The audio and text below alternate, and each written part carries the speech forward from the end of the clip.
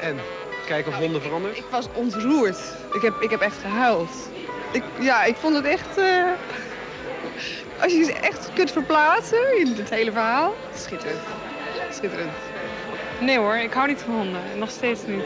Nee, ik vind het eh, toneel in een van de zuiverste vormen eigenlijk. Ja. Je ziet eh, dingen gebeuren die in het dagelijks leven ook kunnen gebeuren. En die worden op een bepaalde manier neergezet. En dat vind ik heel mooi. Dat is, eh, dat is eigenlijk de functie van toneel. Een spiegel voorhouden van wat mensen in het werkelijkheid doen.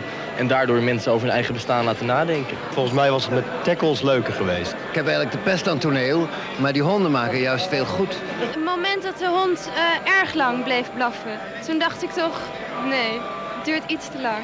Het stuk heet Going to the Dogs. Dat betekent dat het ook gaat over ons, de mensen die daar naartoe gaan. U, u vervult eigenlijk ook een rol in het geheel. Ja, maar dat kan u het best, kunt u het best aan de honden vragen. Hoe die het vinden, om ons te zien. Ik vind het wel fantastisch dat dit gebeurt gewoon. Waar heb je dat nou in de wereld? Dat er vijf, zes honden op het toneel staan, dat is toch zalig?